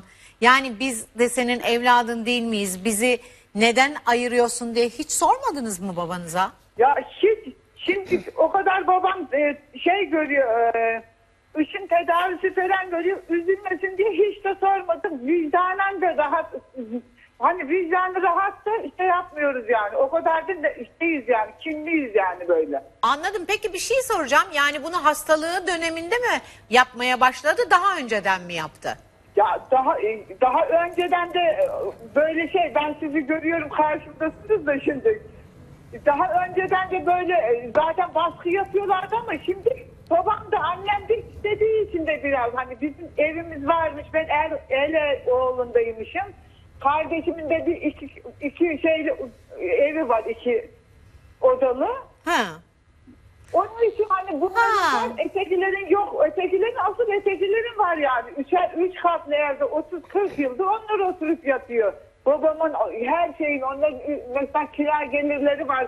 Bir mağazamız vardı onun üstlerine yattılar. Zaten ona hiçbir şey demedik hadi dedik. Anladım. Anladım. Yani çok ve en mağdur Anneniz ne diyor peki? Anneniz ne diyor bu konuda? Annem asıl o yani şey böyle. Hani ikisi bir yani anladın mı? Ha. Peki babanızın akıl sağlığı yerinde mi? Yerinde hocam yerinde olmaz mı? Şey gibi aynı canavar gibi ya. Ne akıl sağlığı yerinde tabii. Anladım, anladım. Peki Bilinçli canım, o- olarak yapmış bir şey yani. Bilinçli yapıyor yani. anladım. Anladım. O zaman biraz dolduruşa mı geliyor artık diyelim, ne Tabii diyelim? tabii tabii. Vicdan Zaten- meselesi tabii bu ya. Yani ben e, yaşadıklarımdan çok şeyler gördüm. Bu biraz vicdan, insanın vicdanı ile ilgili bir şey. Hayır. Yani bir baba e, evlatlarının arasında ayrım yapıyorsa şayet o baba zaten benim için baba değil. Hocam Yani. şimdi benim benim var ya o kadar bir, bir kendi kendime yettim ki böyle artık yemin ediyorum pazara gitti şu anda param yok inanmazsınız ama hiç kimseye de açım susuzum bir şey demem. Ya benim hatta ben şu anda bile babama evimde e- eteberi böreğimi şunu mu etimi şeyimi alıp her akşam babamın yanına giden insanım yani. Sen yap gene, sen yap. Yukarıdaki görüyordur mutlaka. Sen yap. Yap gene. Bir de ben niye böyle şey olayım yani bu kadar sıkıntı çekeyim o kadar zor durumdayım ki anlatamam yani. Anladım, anladım. Peki, Teşekkür ediyorum. Çok sağ olun aradığınız için. canım benim rica ederiz. Cevap verdiniz. Çok sağ olun. Rica ederiz canım benim. Kolay gelsin. Evet ben böyle durumlarda hakikaten çok fena olurum. Yani şimdi o Eloğlu'nda ötekinin iki odalı evi var. Allah Allah ya sen babasın. Yani bu bir kere Allah'ın katında da yani senin altı tane evladın varsa sen o altı tane evladı görmek zorundasın. O Eloğlu'nda onun iki tane odası var. Bunların durumu yok. Böyle böyle saçma sapan bir şey olmaz. Evlat evlattır. Beş parmağının beşini bir ayırabilir misin birbirinden? Koparabilir misin bunu? Atabilir misin ya? Nasıl bir vicdandır bu? Ben bunu anlamıyorum. Bir bakıyorsun bazı babalar muhteşem bir evlat ayrımı yapıyorlar. Babalar bunu fazla çoğunlukta yapıyor zaten. E sağ olsun ilahi adalet diye bir şey var zaten. Sonuçta da eee, onlar şeylerini görüyorlar, karşılıklarını görüyorlar öbür dünyadan. Önce sen bu dünyada görüyorsun zaten. Efendim eee, bir konumuz daha var. Eee, bizden ayrılmayın. Gerçekten o da çok önemli bir konu. Geçirdiği iş kazası hayatını kabusa çevirdi. 7 yıl önce iş kazası geçirdim. Parmağımı kaybettim. Davayı açtım. Davayı kazandığım halde paramı alamıyorum. Kayseri'de yaşayan 41 yaşındaki Rafi Aslan bir inşaatta çalışıyordu. 2010 yılında geçirdiği iş kazası nedeniyle parmağı kopan 3 çocuk babası Rafi Bey iş yerine dava açtı. Depoya malzeme getirdiğimizde ben kepçeye dur işareti yaptım. Dur işareti yaptığımda benim parmaklarım havada kaptı. 10 gün hastanede yattım. Ameliyat esnasında tutmadı. Tutmadığından dolayı parmaklarımı kestiler. Tekrar ben işbaşı yaptığımda şantiye şefi e, benim oradan çıkmam için, kendim işimi bırakmam için bana çay içtiysem tutanak tuttu, sigara içtiysem tutanak tuttu. Ben de dava açmak zorunda kaldım. 7 yıldır parasını alamadı. Açtığı dava sonucunda talep ettiği tazminatın bir miktarını kazanan Rafi Bey, iddiaya göre tam 7 yıldır bu parayı alamıyor. İş yerine 100 bin liralık tazminat davası açtım. Açmış olduğum davada 45 bin lira kazandık. Kazandığımız parayı alamadığımız halde karşı tarafın avukatına ücret talep edilmiş. Karşı tarafın avukatı da benim arabaya haciz kaldırıyor. Parmağı kopan benim. Arabasına haciz yiyen benim. Ben ne yapacağım?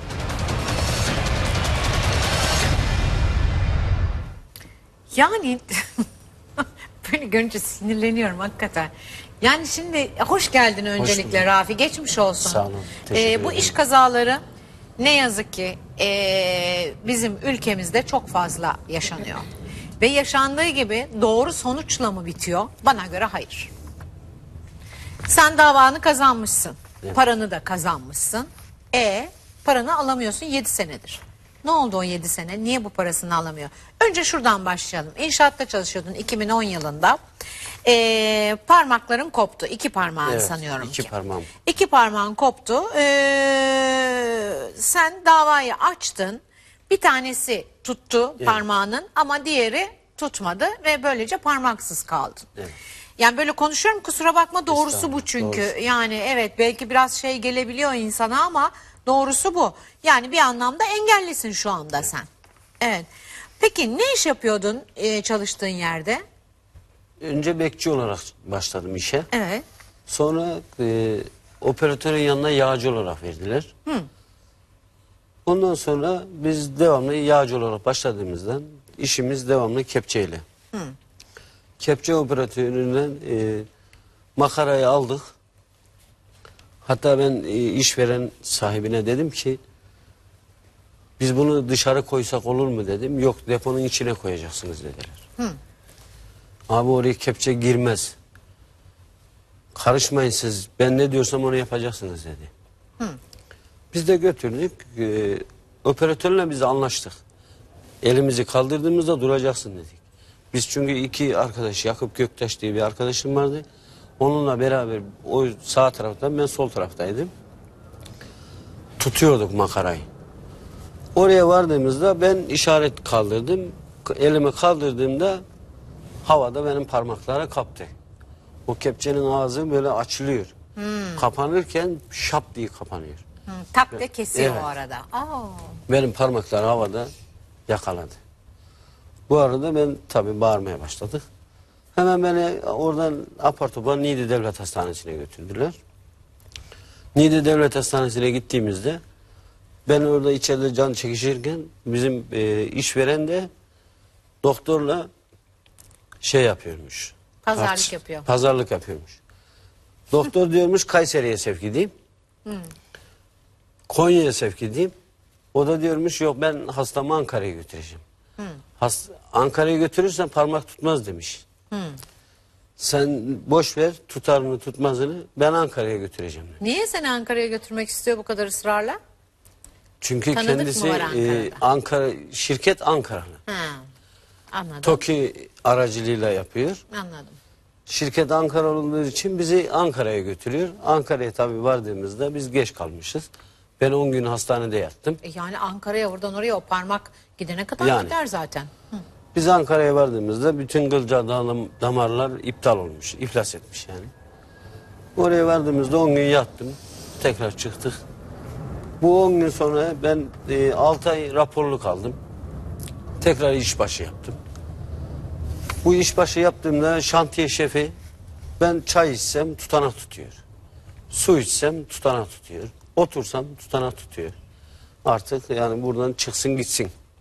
Ne diye. demek o? Niye tutanak tutuyor sen çay içerken, otururken? Yani falan? benim e, işi kendiliğimden bırakmamı is- istiyorlar. Ha sana şey yapıyorlar, Evet, manevi tazminatsız- baskı yapıyorlar evet, sana. manevi baskı Tazminatsız yapıyorlar. seni çıkartıyorlar. En ağır işlere veriyorlar beni. Bu arada ben de gittim patronla görüştüm. Bu iş böyle olmaz dedim. Kanunun kestiği parmak acımaz dedi. Git davanı aç dedi. Kendisi bana Patron dedi. söylüyor Evet. onu. Anladım. Patron Ben- dediğiniz kişi inşaat şirketinin sahibi, Sahibi. yoksa taşeron mu? Yok inşaat şirketinin Sahibi. sahibi. Anladım. Hı. Biz de gittik e, tazminat davası açtık. Tazminat davamızı kazandık. Kazandığım halde ben 7 senedir alamıyorum. 7 yıldır ben bu parayı alamadığım gibi benim bir 3000 TL'lik bir arabam var.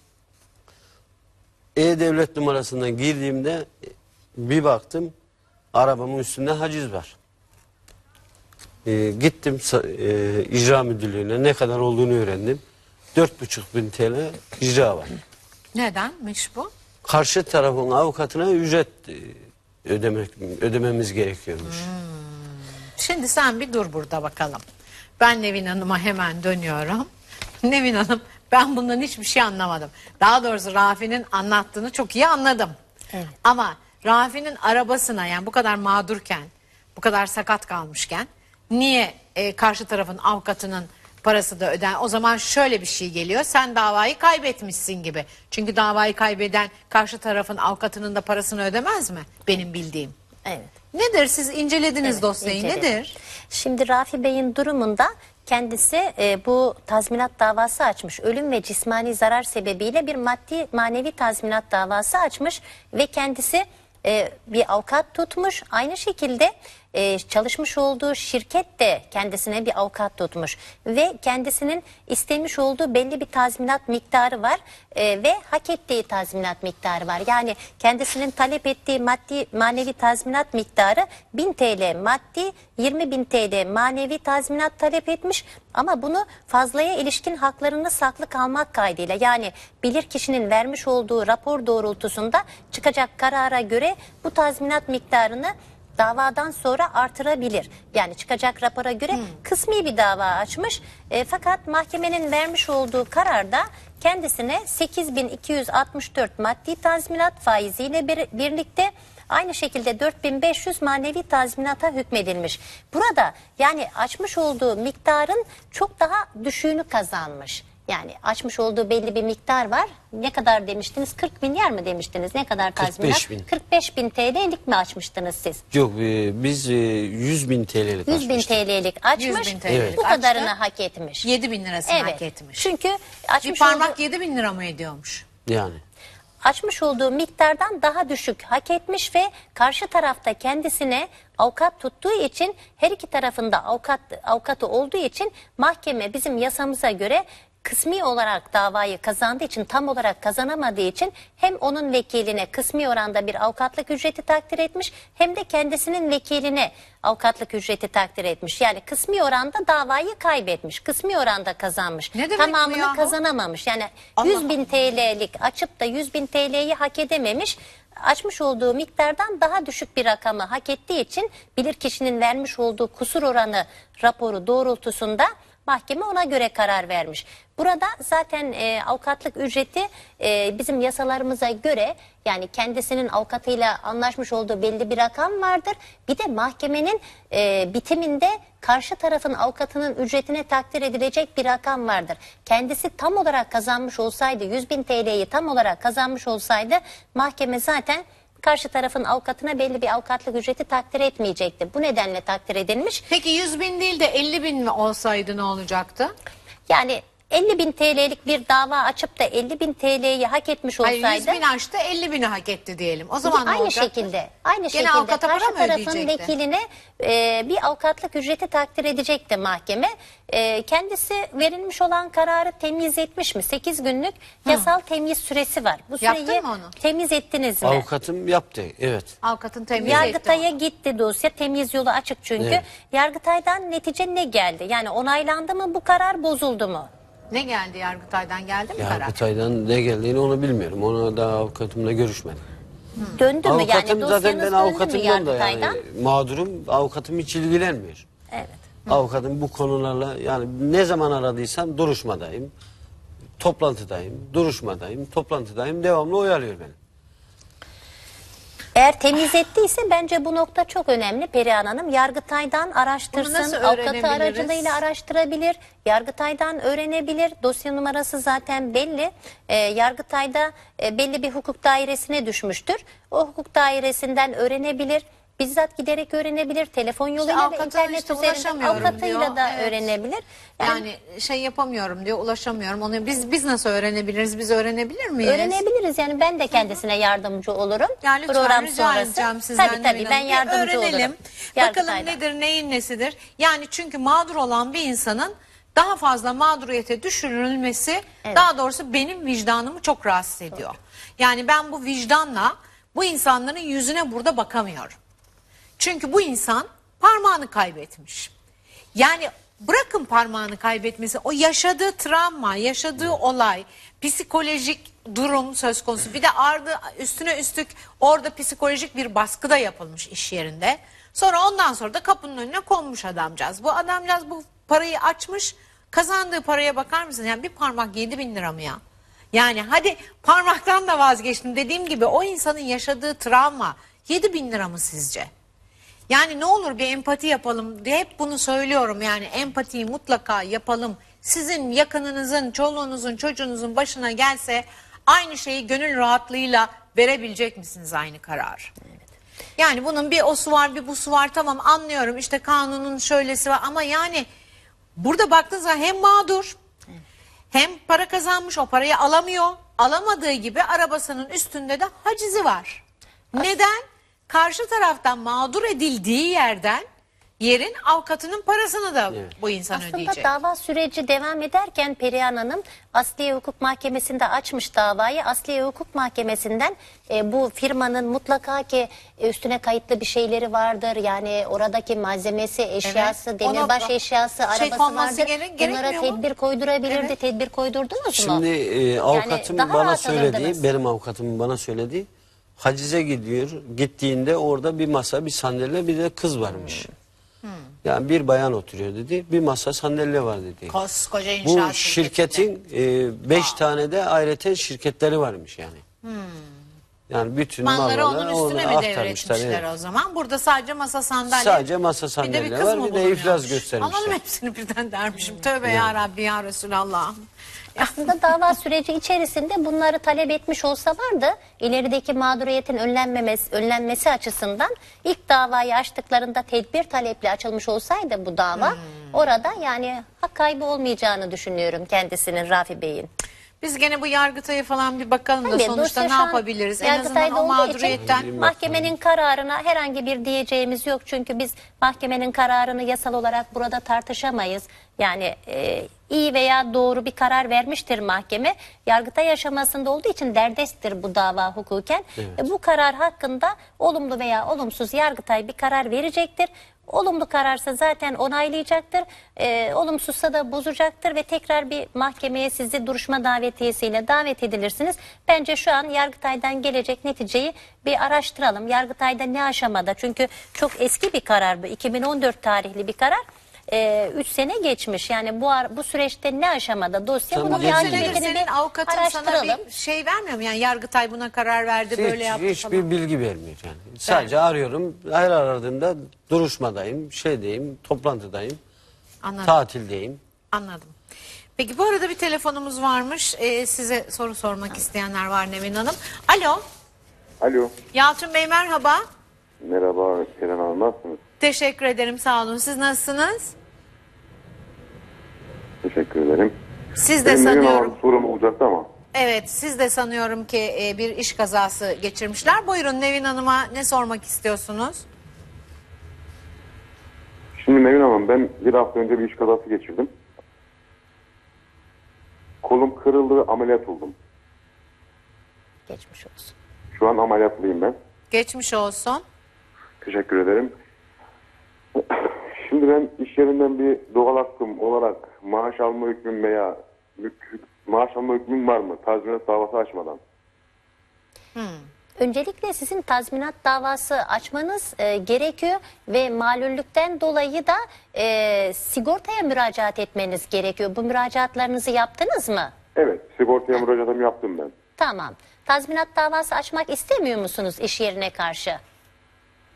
Hani şu an açmak istemiyorum ama beni işten çıkarttıkları zaman açmak istiyorum ama ben kendim işten çıktığım zaman sıkıntı oluyormuş. Hani mahkeme kararınca kendi kendine zarar verdi, işten çıktı diye.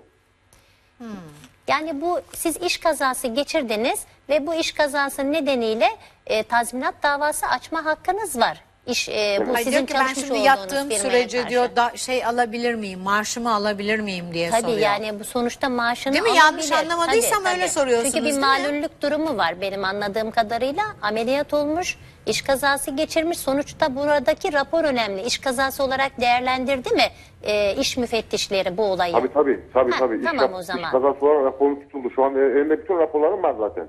Tabii siz e, aylığınızı alabilirsiniz. Bu konuda da zaten sigortaya müracaatınızı yapmışsınız. İş kazası nedeniyle tazminat davası da açabilirsiniz. Hani şimdi şöyle ben sigortaya başvurdum. Benim maaşımı işte devlet karşılayacakmış. 45 gün raporluyum ben şu an. Yalnız iş yerinden ben maaş al- alamıyorum herhalde. Böyle biliyorum ben. Neden dolayı alamıyorsunuz iş yerinden? Hani maaşımın yarısını vermek zorundaymış ama benim iş yerim öyle bir hak vermiyor bana. Vermiyor yani. O zaman siz o alamadığınız maaştan dolayı iş yerine dava açabilirsiniz. O aylık alamadığınız ücretten dolayı iş mahkemesinde dava açabilir. Şimdi bu Ödemek doğum olayında zorunda. da öyle Tabii, değil mi? Yani tabii. mesela tamam devlet Evet. ödüyor şu anda kendisinin 45 günlük raporu varsa devlet ödeyecekmiş Evet. benim paramı diyor. Ama e, kendi gidip SGK'dan alacak sanıyorum değil mi bildiğim kadarıyla? Evet SGK'ya müracaatını yapacak ve SGK'dan alması gerekiyor. SGK'dan para alıyor musunuz siz şu anda? Daha şu an hiç almadım. Daha 10 gün 10 gün arayla vereceklermiş. Hani ben şu anda iş yerinden şey almıştım. iş görememezlik raporu. Anladım. Onunla birlikte göremezlik. gidiyorum. Bize SGK'ya veriyorum. SGK bana para ödemesi yapıyormuş. Yapıyor. Peki bunun haricinde iş yerinden de e, maaşını alabilecek değil mi Alabilir, beyef- tabii ki beyefendi? alabilir. O zaman İş onu da kazası alabileceksiniz olduğu ama iş kazası olduğu için. Ama Evet. eğer size e, iş yeriniz bu parayı hayır ödemiyorum dediği zaman sizin Dava tazminat açma, dava açma hakkınız Tabii. var. Davaya kazanabilme imkanım var değil mi? Tabii ki iş kazası olduğu için e, yani mutlaka alırsınız. Sonuçta müfettişler bunu iş kazası raporu olarak değerlendirdiyse sizin bu davayı mutlaka açmanızı öneriyorum. Fazla zaman kaybetmeden iş kazası nedeniyle maddi ve manevi tazminat Rafi Bey'in açtığı gibi bu şekilde bir dava açmanızı öneriyorum. Ama yok iş yeri sizin paranızı ödemeye devam ederse e, siz de iyileştikten sonra iş yerinizde çalışmaya başlarsınız. O Tabii. zaman dava açmanıza gerek, Gerek yok. yok. Hani peki benim raporum bittikten sonra ben işe başladıktan sonra beni derler ki hani ben işinize son verdim. Tekrardan bir dava açma hakkım var değil mi? işine son verdiği zaman bu kere sizin kıdem tazminatı davası açmanız gerekiyor. Çünkü haksız işten çıkartma olur ve e, siz orada en az bir sene çalışmışlığınız varsa e, kıdem tazminatı davası açma hakkınız doğuyor bu kerede. İş kazası nedeniyle bir maddi manevi tazminat davası açma hakkınız şu an için mevcut. Ama dediğiniz gibi işe başlayıp da işten haksız bir şekilde işten çıkartılma durumu olursa 10 senelik zaman aşımı süresine tabi olan kıdem tazminatı davası açma hakkınız mevcut. Tamam mı? Mayıs'ın Mayıs'ın 23'ünde benim tam bir sene olacak Nevin Hanım. Bir sene olacak Mayıs'ın 23'ünde. Yani Evet. e, sizin çalışma süreniz e, toplamda işe başlama tarihiniz itibariyle bir seneyi doldurmadı mı şu an? Mayıs'taymış. Mayıs'ın- Mayıs'ta doluyor. tam 23'ünde bir sene olacak, evet. Mayıs'tan sonra işe başladığınız zaman herhangi bir sıkıntı olur, herhangi bir problem olur ve işten çıkartılma, haksız işten çıkartılma durumunuz olursa kıdem tazminatı, ihbar tazminatı, bütün fazlaya ilişkin mesai, e, bütün haklarınıza hafta sonu tatil ücretleri de dahil olmak üzere kıdem tazminatı davasını iş mahkemesinde açabilirsiniz. İş mahkemesinde açacaksınız ama. Evet iş mahkemesinde açacağım zaten. Onunla ilgili bilgim var. Evet. Peki geçmiş olsun diyoruz size. Peki e, bir telefonumuz daha varmış Kamil Bey telefon attığımızda. Alo. Alo, iyi günler efendim. İyi günler Kamil Bey. Buyurun sizi Kolay dinliyoruz. gelsin. Sağ Hayırlı olun. yayınlar olsun efendim. Teşekkür ediyoruz efendim. Buyurun. Bizim 94 yılında evimize misafir olarak bir Ahmet Çıldır adında birisi gelmişti. Evet. İki gün kaldıktan sonra evimizde altınlarımızı aldılar ve gittiler. Bir defa kendilerinden haber alamadık şimdiye kadar. Mahkemeye de verdik. Mahkemeden de bir sonuç alamadık. Evinize geldiler. Siz tanıyor musunuz Kamil Bey bu kişiyi? Hanımımın dayısı olur. Kimin? Eşimin Eşinizin dayısı olur. Ha, dayısı oluyor. Evet. Dayısı. Evet. Dayısı oluyor. Geldi sizin evinizde kaldı. Altınları da aldı gitti öyle mi? Aynen öyle efendim. Siz de dava açtınız. Evet Şikayet, efendim. şikayette bulundunuz. Kaç yıl geçti efendim. aradan? 94 yılında oldu. Yani ondan sonra haber alamadık zaten. Aramadığımız yer kalmadı Türkiye'de. Ha ad- adamdan haber yok yani dayıdan haber yok. Da- dayı kayıp. Yok, yok. Oo. Ne, ne olabilir 94 yıl. 94 senesinde şikayetçi oldunuz, savcılığa müracaat Oldu ettiniz efendim. ve dava açıldı mı o kişi hakkında? Evet efendim, açıldı. Açıldı. Peki mahkemeye kendisi geldi mi? Yakalama kararı çıktı Gelmedi mı? efendim, gelmedi. Peki yakalama kararı çıkmış olması gerekiyor. Böyle önemli bir şikayet hakkında hırsızlık suçuyla ilgili suçlanan bir kişi hakkında yakalama kararı çıkması gerekiyor. 94 senesinden beri hani e, bu dava nerede devam ediyor? Bu mi efendim? Bu dediler, suistimal dediler. Evimize gelmişti, kaldırmış dediler. Evet. Takipsiz. Telefonunuz takipsizlik kararı mı verdiler? Evet efendim. Takipsizlik kararı vermişler. Takipsizlik Devam kararı ettiler, demek ki dava açılmamış bu kişi hakkında. Takipsizlik Açıldı efendim. He, tamam. O zaman dava açıldıysa o kişi hakkında bir yargılama yapılması gerekiyor. Emniyeti suistimal suçu işlediği için burada e, onunla ilgili ifadesi alınacak, mahkemeye çağrılacak ve en son zaten mahkeme aşamasında da son savunması e, sorulup ona göre bir hüküm kurulması gerekiyor. Ama bildiğim kadarıyla bulamamışlar, kişiyi Bulamamışlar şu galiba ana değil mi? kadar. Evet efendim. Hiç mahkemeye çıkmadı mı bu kişi? Yakalanmadı mı hiç? Allah Allah. Haberimiz yok yani ondan sonra. Yaşıyor mu acaba? Yaşadığını duyuyoruz. Mutlaka Peki nerede kararı oturduğunu çıkmıştır. falan hiç duyuyor musunuz? Yok Akrabasınız. efendim yok. Arıyoruz da bulamadık.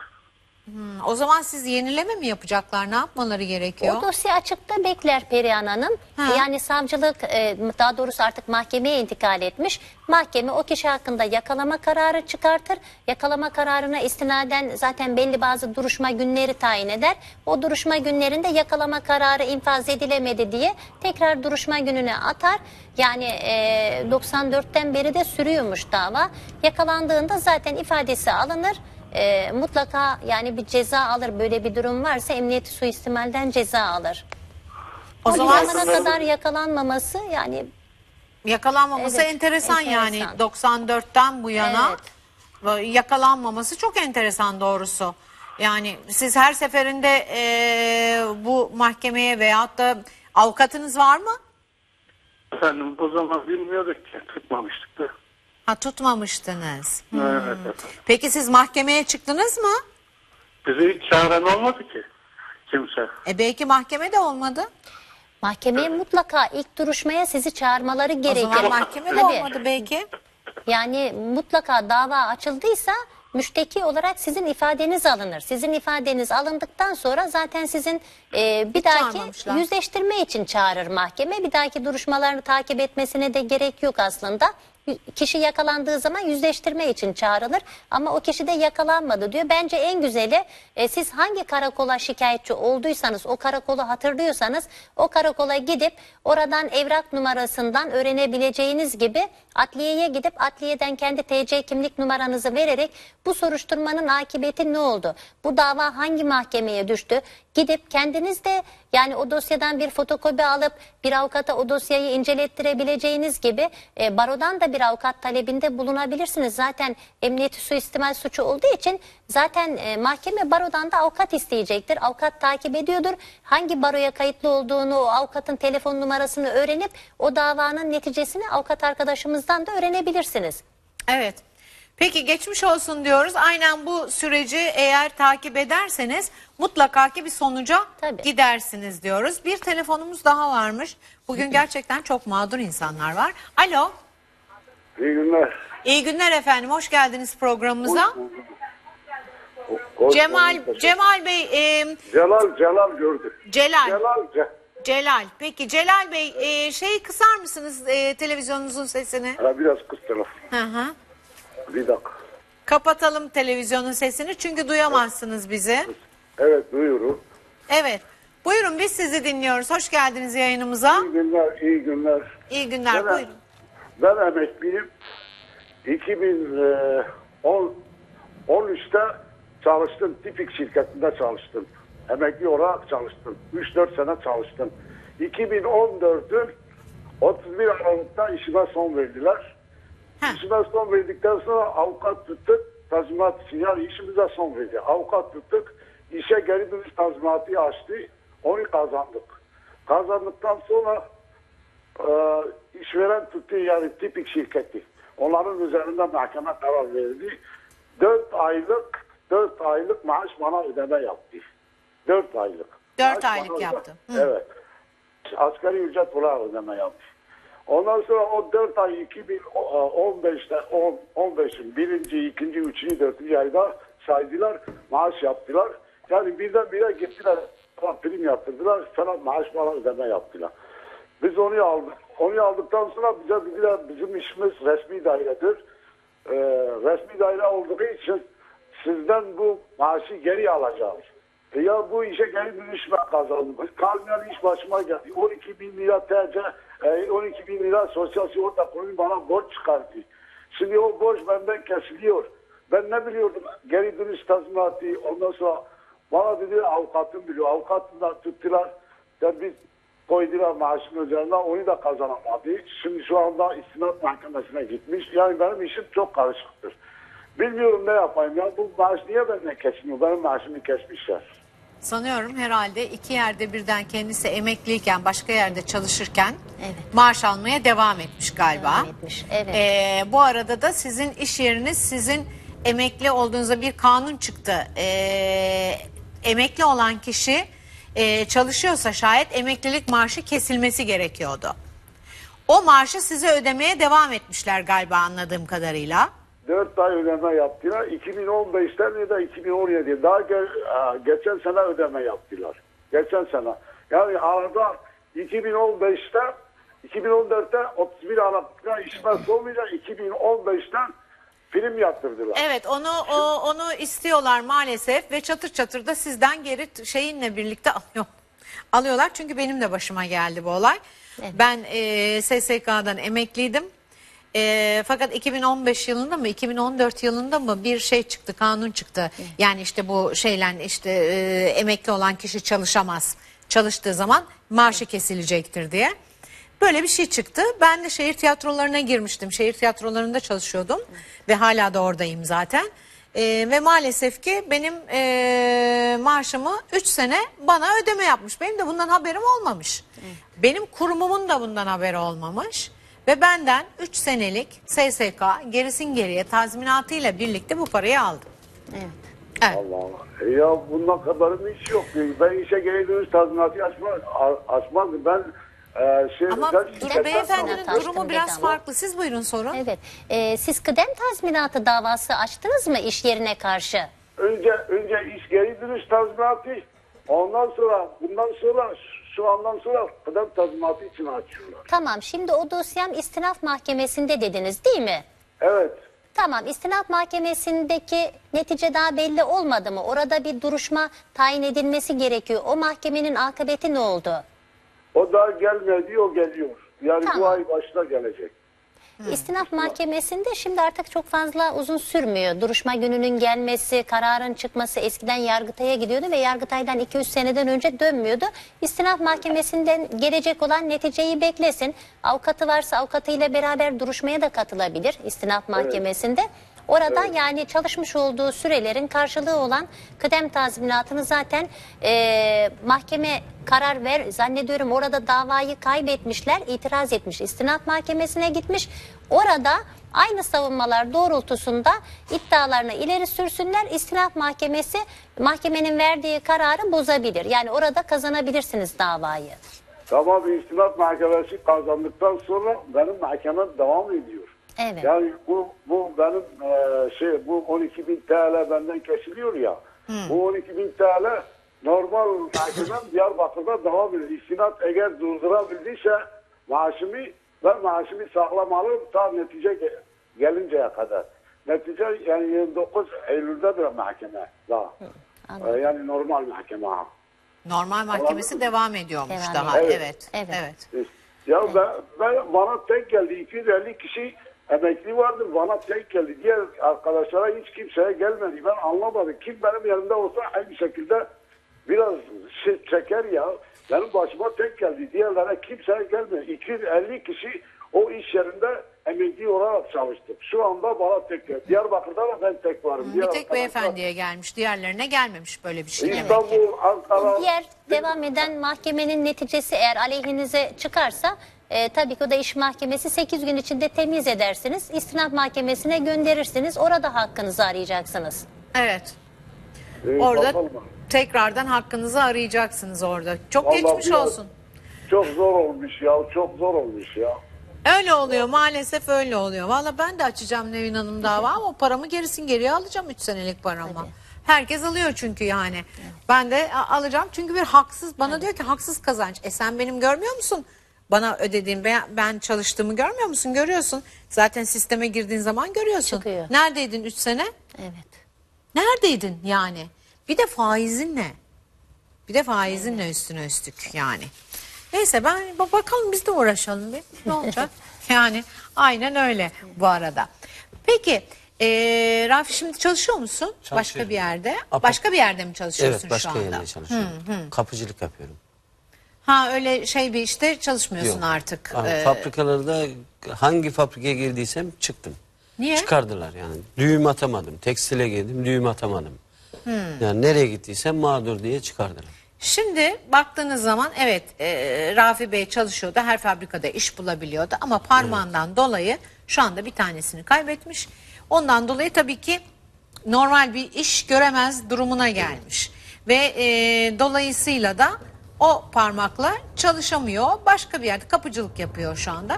Ve bu parmağa 7 bin lira para kesiliyor. Bir de karşı tarafın avukatının parasının cezası kesiliyor. Arabasına da haciz konuyor. Ve şu anda da kendisi o parayı bile alamıyor. Alamıyoruz. Neden bu kadar uzun Ona da süre? ödeyecek durumumuz yok yani. Benim zaten üç Senin tane zaten çocuğum durumun var yok. yani. Anladım da o parayı da zaten Asgari niye, ücretine çalışıyorum. niye bu kadar uzun zamandır ödemiyorlar bu parayı? İflas etmiş firma. Benim görüştüğüm kadarıyla Rafi Bey'in bana söylediği firma iflas etmiş. İflas Firma masasına iflas göstermiş. iflas Ee, etmiş. gösterdiği gibi beni arıyorum. Orada bir bayanla görüşüyorum devamlı. İki ay sonra, bir ay sonra ödeyeceğiz. Bekle, biraz daha bekle. Yedi senedir ben bekliyorum. Hala da beklemekteyim. Buraya gelmeden iki gün önce gene görüştüm. Gene bekle diyorlar. Şimdi firma zaten e, iflas etmiş gösteriyor ama o firmanın bağlantısında, bağlantısında demeyeyim de o kişiler ayrı ayrı yani o şirketi iflas etmiş göstermişler ama ayrı ayrı şirketleri Evet. var. 6-7 tane şu anda 6-7 şirket tane şu anda şirketleri var ve bu 6-7 şirkette hala ihale almaya devam ediyor. Devam ediyor. Evet. Çalışıyor. Maalesef böyle acı bir durum da var. Yani ben şirket kuruyorum. İşte borçlanıyorum, tazminat ödemem gerekiyor falan. Sonra kendimi iflas etmiş gösteriyorum. Öyle değil mi? Şirketimi kapatıyorum. O şirketi iflas ettim diyorum. Öbür tarafta başka şirketler açıyorum. O şirketlerden hem işim devam ediyor hem de kimsenin tazminatını ödemiyorum. Bu ne Aslında güzel. o bağlantılı olan şirketlerden alacağınız Kişiler belli alabilir değil mi? aslında. Evet, yani, yani, aynı kişinin e, o zaman o aynı şirketi ise sonuçta dönsem yani onların olmuyor mu? üstündeki mal varlığından alabilir, tahsil edebilir kendisi Rafi Bey. Yani avukat aracılığıyla avukatım e, bağlantılı olan oraya tekrar firmalardan dava alabilir. açmamız gerekiyor diyor. Tekrar şimdi oraya dava açtığın zaman benim sigortada benim çalıştığım şirkette yattığı için açma şansımız yok diyor. Şu anda da TOKİ'ye dava açmayı düşünüyor. TOKİ Genel Başkanlığı'na dava açmayı düşünüyor. Ha inşaat şirketiyle Evet. birlikte çalıştığı için. Evet. Ha o olabilir mi peki? Onu soralım Nevin Hanım'a. Ben onu pek anlamam. Firmayla bağlantısı olduğundan dolayı mı Evet, açmayı e, düşünüyor? TOKİ aracılığıyla bunlara TOKİ aracılığıyla. hastane ben Niğde Devlet Hastanesi inşaatında koptuğu için TOKİ yaptırdığı için orayı e, Anladım. şirkete TOKİ'yi açarız diye avukat bana söyledi. Ama Hmm. sonuç ne olur onu TOKİ'yi de açabilir ama e, aslında buradaki en güzeli sizin o şirketinizin bağlantılı olduğu şirketler vardır. Yani sonuçta o firmaya bağlıysa o firmanın yani hatta dava açmanıza gerek kalmadan üstüne kayıtlı mal varlıklarına mahkemenin verdiği bir karar var. Ama şu an Yargıtay'da diyorsunuz dosya. Yargıtay'da Şimdi olsa o bile Yargıtay'a aslında bir bakılması lazım. Ne karar Yargıtay'da diyor. gelmiş? Yargıtay'da olsa bile para alacaklarına ilişkin davalar Yargıtay'ın kararı beklenmeden aslında haciz yapılabilir. Ama, ama iflas şirket gösteriyor. Ama şirket onun bağlantısı olmayabilir. Evet bağlantılı değilse tabii bir şey yapamaz. Sonuçta Yani- eğer bağlantılıysa oradan alabilirsiniz. Bence- Bağlantılı mı bağlantılı değil mi? yani e, benim orada çalışan arkadaşlarım var. Onlardan ben bilgi alıyorum. E, hepsinde de aynı şahısın üstüne şirkette. Aynı şahsın üstüne. Evet. Ha, aynı şahsın. O Üç zaman aynı kardeşler, şahsın üç üstüne kardeşler ise- Şahsın üstüne ise alabilir. O zaman alabilir. Alabilir, Bir de alabilir. şunu yapabilir mi? Ee, bu e, şeyin şirketin e, ihalelere girmesini men edebilirler mi? Yani şirketin Şu durumdan dolayı. yani bu sadece mahkeme kararında ne takdir edildiyse onu alabilir. Yani o şekilde Hayır şimdi ihaleye- alamıyor deyip de Ha. ihaleye bu böyle bir Anladım. firmanın girmesi ve devam İhaleyi etmesi yarın engellemek. öbür gün ha yarın öbür gün başkalarının başına da gelebilir Evet. Rafi'nin başına geldiği gibi. Yani o şekilde yasal olarak ihaleyi Hakkı var mı diye onu engelleme soruyorum. hakkı yok da en güzeli Rafi Bey'in yapacağı bu Yargıtay'daki dosyanın bir akıbeti araştırılması gerekiyor. Yargıtay'daki dosya eğer e, mahkemeye ne zaman gönderilecek yerel mahkemeye o bir araştırılsın. Yerel mahkemeye eğer onaylanırsa bu karar dediğim gibi bu firmanın bağlantılı olduğu firmalar vardır. Üstüne kayıtlı e, mal varlıkları varsa bu parayı tahsil etme şansı var.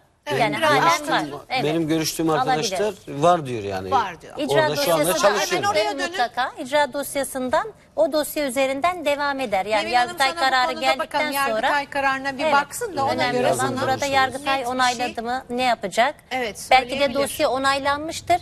Ee, avukat arkadaşımıza tebligat gider bu durumda.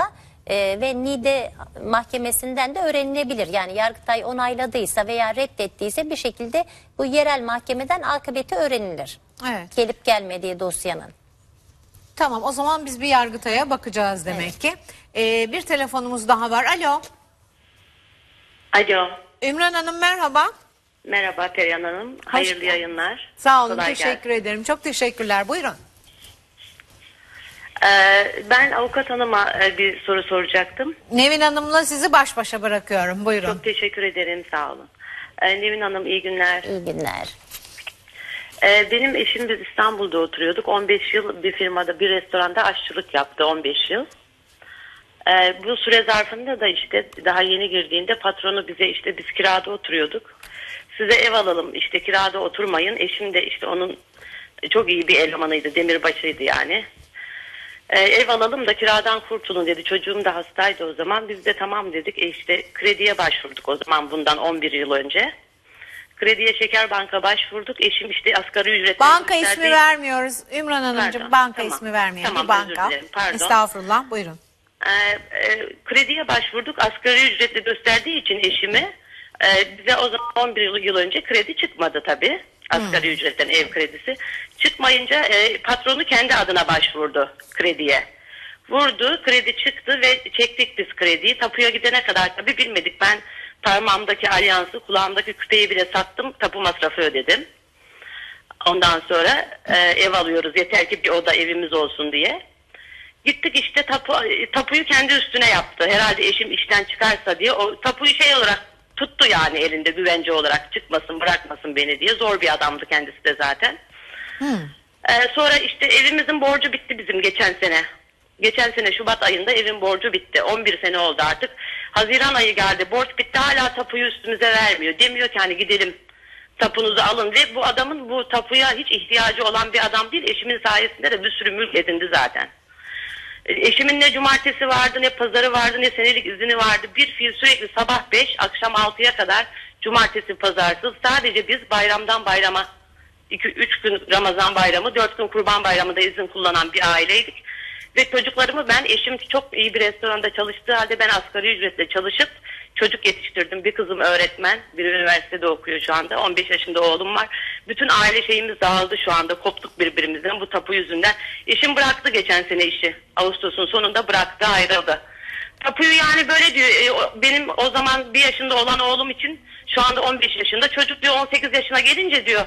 O zaman veririm tapuyu üstünüze diyor. Peki ben hemen daha- araya girmek zorundayım. Çok az bir zamanımız kaldı. Evet. Bu durumda ne yapabilir Nevin Hanım? Vallahi hemen, siz de bir hemen- toparlayarak. Hemen Cumhuriyet Savcılığına bağlı bulunduğunuz, oturduğunuz yerdeki Cumhuriyet Savcılığına müşteki olarak, şikayetçi olarak ifadenizi verin, şikayetçi olun. Çünkü sizi kandırarak e, tapuyu kendi üstüne almış ve e, halen de vermemiş. Yani bu bir dolandırıcılık suçudur. Siz şikayetçi olmanız gerekiyor.